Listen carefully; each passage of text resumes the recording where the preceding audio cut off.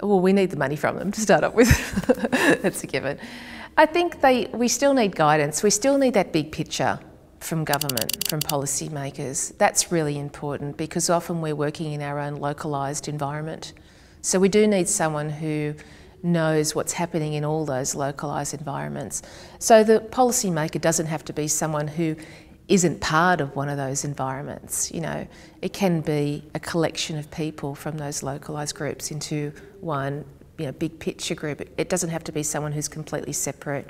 I think their role is big picture, it is guidance, but it also is very much staying connected with the people who are working in schools and, and in childcare centres and in education at all, all levels. It's really important.